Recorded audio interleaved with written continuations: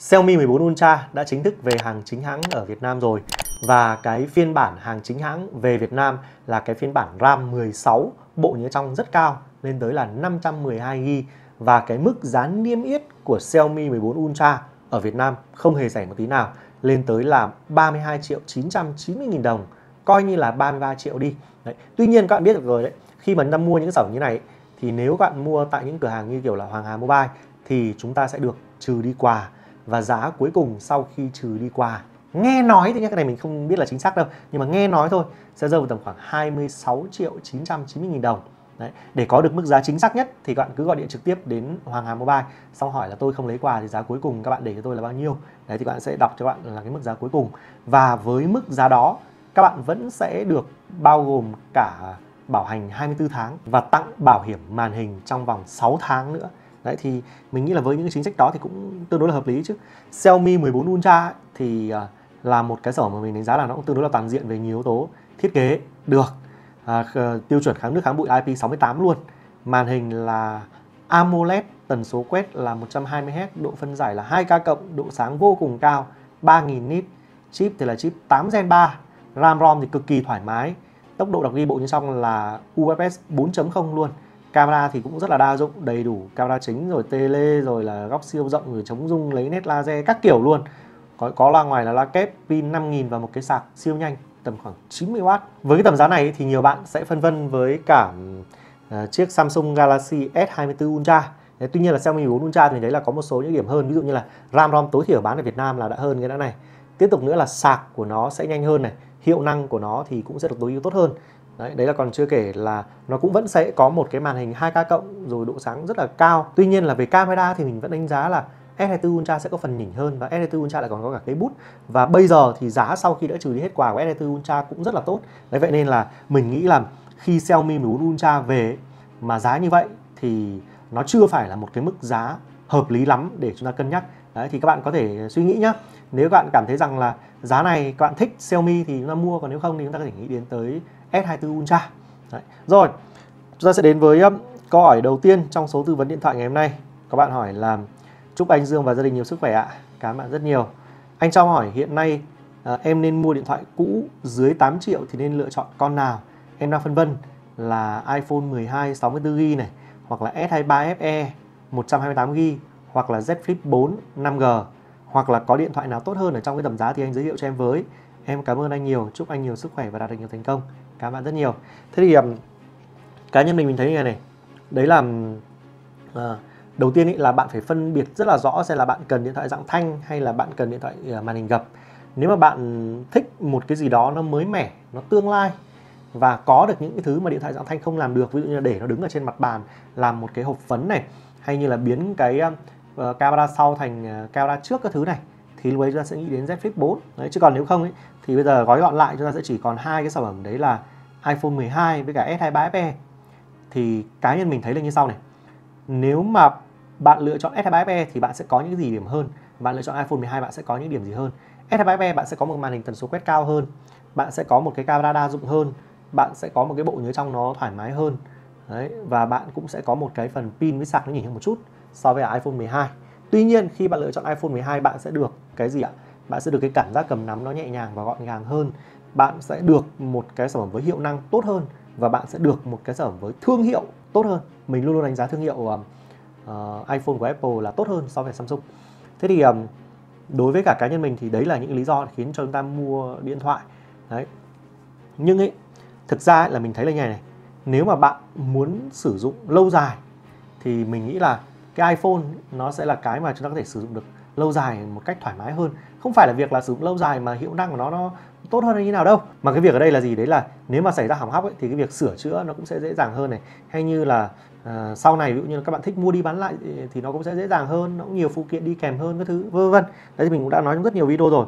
Tuy nhiên nếu các bạn muốn trải nghiệm cái giá trị sử dụng thực tế ở thời điểm là nhỉnh uh, chỉ sử dụng trong khoảng một vài năm thì mình nghĩ là S23FE là hợp lý đấy. FAB là hợp lý hơn. Tại sao mình lại không khuyên các bạn sử dụng quá lâu dài đối với cả những cái sản phẩm của Samsung như này? Bởi vì là thời gian gần đây, rất là nhiều người có phàn nàn về cái việc là cứ sử dụng, sau khoảng một vài năm là nó xảy ra cái lỗi sập màn hình. Trời ơi, người nhà của mình cũng bị như thế nên mình cảm thấy cũng hơi sợ. Bây giờ khi mà tư vấn cho mọi người, dùng mấy cái điện thoại của Samsung. Thế xong rồi có người thì lại bảo là bị lỗi cả phòng pin cái thứ, nên là mình cũng hơi rén ở cái vấn đề đó đấy nhưng nếu mà thực sự mà giá trị sử dụng trong khoảng một năm thì mình nghĩ là S23FE là hợp lý đấy. còn Z Flip 4 thì mình nói rồi nó là một cái điện thoại dạng gập và nó dành cho những đối tượng khách hàng hoàn toàn khác biệt rồi. Đấy thì um, bạn sẽ sẽ cân nhắc kỹ quan trọng nhất ở đây là gì đấy là nhu cầu của bạn là gì.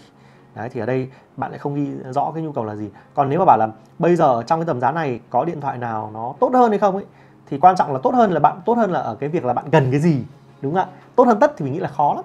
Nhưng bảo là nếu mà bây giờ mà tìm những cái điện thoại mà nó tốt về mặt hiệu năng hay các thứ thì tìm điện thoại Trung Quốc thì hiệu năng các thứ sẽ rất là ngon. Đấy, nhưng mà thôi nếu mà bạn đã phân vân ba con này rồi thôi cũng không cần phải giới thiệu uh, thêm uh, quá nhiều làm gì. Lúc đấy thì tự nhiên chúng ta lại bị một cái cảm giác là phân vân nhiều quá. Đấy, không biết lựa chọn sản phẩm nào thì nữa thì chết đúng không ạ? Đấy. vậy nên uh, nếu mà là mình nhá thì trong cái trường hợp này mình sẽ ưu tiên lựa chọn S23FE nhất trong ba con này. Đấy, còn nếu mà bảo là bây giờ mình mua cho vợ thì mình sẽ mua Z Flip 4 còn nếu mà bảo là bây giờ mình mua cho cho cho bố mẹ mình đi thì mình sẽ phải mua cho mình sẽ mua iPhone 12 đấy vậy là tùy người thôi thì mình sẽ sẽ mua những cái loại máy khác nhau. Rồi chúng ta sẽ đến với còi tiếp theo. Các bạn hỏi là anh ơi tầm giá 5 đến 6 triệu máy chính hãng mới mua cho phụ huynh thì điện thoại nào ổn về màn hình này loa này pin này sạc này? Mong anh tư vấn giúp em chúc anh và gia đình nhiều sức khỏe. Cảm ơn bạn rất nhiều. Thế thì um, cá nhân mình mình nghĩ là không cần đến 5 đến 6 triệu đâu bạn chỉ cần đến tầm khoảng dưới 5 triệu thôi. 4 triệu mấy đấy tại Hoàng Hà Mobile các bạn cũng có thể nhìn thấy luôn giá trên hình cho cái chiếc Redmi Note 13 nhé. Redmi Note 13 hàng chính hãng, màn hình được, AMOLED 120Hz là ok rồi. Loa thì có là ngoài là loa kép, pin thì là 5000 mAh, sạc 33W lại còn có cả vân tay bên trong màn hình nữa. Thì mình nghĩ là con này là một con rất là đồng đều, nếu như chúng ta mua cho phụ huynh để dùng đấy. Đấy thì cá nhân mình thực sự là mình vẫn vẫn nghiêng nhiều nhất về Redmi Note 13 còn cái số tiền còn lại, giả sử như mình, bạn cần là 5 đến 6 triệu nhưng mình cảm thấy là ờ, ở 4 triệu mấy đã đủ rồi thì số tiền còn lại bạn tiết kiệm để làm việc khác hoặc để cho bố có thể mua một cái món đồ khác chẳng hạn ví dụ như có thể mua thêm một cái vòng đeo tay thông minh Huawei Band 9 các thứ chẳng hạn. Đấy kiểu kiểu như vậy. Thì cũng không nhất thiết phải dùng hết số tiền làm gì đâu đúng nào? Tội gì? Tiết kiệm được đồng nào hay đồng đấy. Rồi chúng ta sẽ đến với câu hỏi tiếp theo. Các bạn hỏi là anh ơi em có 3 triệu muốn mua một uh, chiếc điện thoại làm YouTube thì lựa chọn máy nào là hợp lý? Anh tư vấn uh, giúp em với ạ. Em xin cảm ơn thực ra là 3 triệu cũng cũng không phải là một số tiền lớn nhưng mà nếu mà để lựa chọn mua để làm YouTube ý, thì theo mình là bạn sẽ có một số những sự lựa chọn. Ví dụ như là Redmi Note 12R hoặc là Realme V50s cả hai con này thì nói thật là cái camera cũng không phải là camera đẹp đâu. Nhưng um, khi mà chúng ta chưa có nhiều tiền ấy thì mình nghĩ là chúng ta có có nhiều cách để mà làm YouTube nó tốt. Ví dụ như thay vì việc các bạn um, chưa sắm được những cái bộ đèn đóm như thế này thì chúng ta có thể quay ở những điều kiện nó đủ sáng ánh sáng ngoài trời chẳng hạn. Đấy, ví dụ như là ở phía sau này của mình ý nó là một cái ban công rất là lớn mình có thể kéo hết toàn bộ cái phần phông xanh này lên hay kéo hết rèm lên để cho ánh sáng nó nó sáng để nó vào trong phòng mình có thể quay được. Ngoài ra nữa thì kết hợp vào những cái bóng điện ở bên trong nhà này để chúng ta quay cho nó tốt. Cái những cái máy này thu âm nó chưa được ngon thì chúng ta lại hạn chế đi ra những nơi ồn ào thôi. Chúng ta ngồi ở trong những phòng yên tĩnh như này để chúng ta quay. Nghĩa là khi mà chúng ta chưa có được cái công cụ dụng cụ sản xuất nó tốt ý, thì chúng ta sẽ phải khắc phục cái điều đấy. Cạn hình luôn không ạ? Hay là những chiếc điện thoại đấy chúng ta biết được là cái điểm yếu của nó là quay video hay là chụp ảnh trong những điều kiện thiếu sáng nó không được ngon thì chúng ta phải tìm những nơi đủ sáng hoặc là phải làm sao để có nhìn thêm nhiều ánh sáng vào. Đấy. những cái chiếc điện thoại đó thì cái chống rung của nó không được tốt. Thì làm gì ạ? Chúng ta sẽ chuẩn bị cho nó một cái tripod tripod thì rẻ lắm tripod trên điện thoại mình nghĩ là vài ba trăm nghìn là các bạn mua trên shopee lazada thoải mái luôn. Đấy. thì hai cái điện thoại đó nó cỡ tầm khoảng 2 triệu 6, 2 triệu 7 thôi. Và cái số tiền còn lại tích được khoảng 3 400 nghìn còn lại thì các bạn mua thêm một cái tripod nữa cho mình. Thì đấy là cái mà chúng ta có thể làm YouTube được rồi. Đấy, cũng nói thật với cả các bạn luôn đấy là cái thời điểm đầu khi mà mình mới làm kênh YouTube Dương Dê mình dùng một chiếc Samsung Galaxy Note 9 để mình quay video. Lúc đấy chưa có đèn đóm chưa có bất kỳ một thiết bị gì để hỗ trợ đâu. Mình chỉ có duy nhất là một cái điện thoại và một cái tripod uh, ờ, uh, cho điện thoại thôi. Đấy đấy là tất cả những gì mà mình làm ban đầu. Mic như thế này cũng chưa có luôn chưa có một cái gì cả. Đấy thì thì mình nghĩ là cứ tạm thời chúng ta dùng cái đấy đã.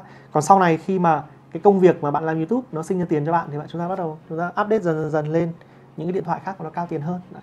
nói chung là có bao nhiêu cũng có thể làm được hết. Hay thậm chí nhá nếu bạn không quá lăn tăn như mình nó thật luôn nhá một cái chiếc iPhone 7 bạn cũng có thể làm được YouTube luôn. Một cái iPhone 7 thôi. 3 triệu là thoải mái rồi. Đấy anh em có thể cân nhắc.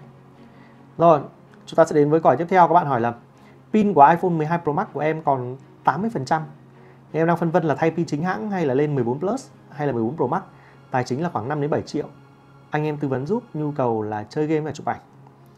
Cá nhân mình là nên thay pin. Tại sao lại như thế? Tại vì là cá nhân mình thấy là cái giá trị sử dụng của 12 Pro Max vẫn đang còn rất là tốt.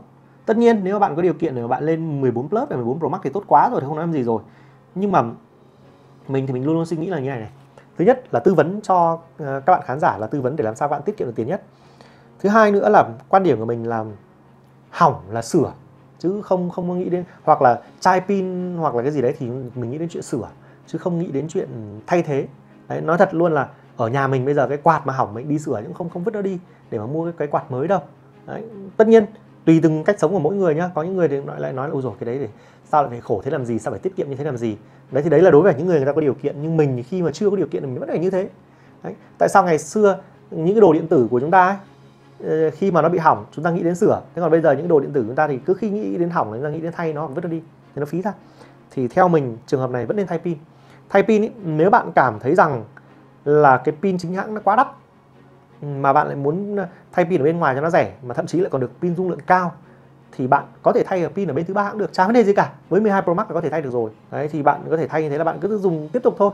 Để khi nào mà cái 12 Pro Max nó không đáp ứng được các cái nhu cầu của bạn nữa lúc đấy bạn update lên một cái điện thoại mới thì biết đâu lúc đấy với cái số tiền dự định ban đầu mà bạn định bỏ ra bạn lại mua được những cái điện thoại khác nó cao tiền hơn thì sao? Ví dụ bây giờ mình chúng ta xác định là khoảng um, 15 16 triệu đi để mà mua một cái điện thoại đi nghĩ đến 14 Plus đúng không? Nhưng biết đâu sau này 15 16 triệu bạn dùng khoảng vài năm nữa thì bạn lại mua được 15 16 17 Plus thì sao? Ai biết được. Đấy vậy nên thì mình nghĩ là cứ thay xong rồi dùng tiếp. Đấy, đến lúc mà nó không nó không đáp ứng được nhu cầu thì lúc đấy tính sau được chưa? Không cần tính trước làm gì. Rồi chúng ta sẽ đến với câu hỏi tiếp theo. Các bạn hỏi là không thể so sánh mua trả góp nhà đất với điện thoại được chính xác là như thế. Ờ, trong cái video mình nói là về cái vấn đề về, về trả góp ấy thì ờ, mình có nói là Ờ, rất nhiều bạn nói là trả góp điện thoại là ngu. Thế mình thế thì ví dụ bây giờ là trả góp ờ, đất hay là trả góp ờ, về về xe cộ cũng là ngu. À đấy ý mình muốn nói đây là không phải là trả góp điện thoại là giống như trả góp đất. Ừ, nhà đất bởi vì nhà đất thì nó mang tính chất là đầu tư nhiều hơn. Các anh không? Nhưng mà ý muốn nói ở đây là gì? Đấy là mỗi người có một cái cách lựa chọn khác nhau. Bạn không trả góp thì không có ý không có nghĩa là bắt người khác phải không trả góp. Đấy. Còn uh, tùy từng quan điểm của mỗi bạn. Có những bạn bảo là điện thoại nó là tiêu sản không nên mua trả góp trả góp thế là dở hơi đúng không ạ? Tuy nhiên cũng chia sẻ với các bạn luôn đấy là trước khi mình làm review đúng 2 tháng lúc đấy nói thật là lương của mình chỉ được có 3 triệu một tháng thôi. Mình sẵn sàng mua trả góp một cái điện thoại 6 triệu. Lúc mình nhớ không lầm là HTC One M8 nhé nhưng chưa HTC One à, à, quên nhầm xin lỗi E8 nhé chưa được M8 đâu E8 đấy một con vỏ bằng nhựa thôi hồi đấy hồi đấy Hoàng hàng bán tầm 6 triệu. Mình đã sẵn sàng mua trả góp cái điều đấy. Và cuối cùng mình bén duyên vào cái nghề này chính cái điện thoại đấy là cái điện thoại đã khiến cho mình bén duyên với nghề làm review này. Và mình nghĩ là đối với mình bây giờ nó là một cái tài sản rất lớn. Cái tài sản rất lớn chứ phải tiêu sản. Đấy thì tất nhiên tùy từng người thôi. Còn um, có những cái thứ ấy mà mình nghĩ là là đôi khi nó mà là công cụ dụng cụ cho chúng ta thì có thể là tốt đấy. Ví dụ nhá bạn cần một điện thoại tốt để mà bạn đi chạy grab chẳng hạn. Bạn chưa có một xu nào mà bây giờ người ta hỗ trợ trả góp tại sao không? Bởi vì cái điện thoại đấy nó thể sinh ra tiền cho bạn mà. Hay như là kể cả như bạn um, cảm thấy rằng cái điện thoại này bạn có đủ tiền để trả 100% tiền đi nhưng nếu mà bạn có thẻ tín dụng bạn hoàn toàn có thể mua trả góp. Mà biết đâu cái cái cái, cái ngân hàng đấy người ta hỗ trợ trả góp 0% qua thẻ tín dụng thì tội gì? Mình cũng như thế luôn đấy. đấy. Rồi như vậy là câu hỏi vừa rồi cũng là câu hỏi cuối cùng kết thúc số tư vấn điện thoại ngày hôm nay. Cảm ơn bạn rất nhiều vì đã dành nhiều thời gian theo dõi video của Dương Dê. Còn bây giờ thì xin chào và hẹn gặp lại. Bye bye.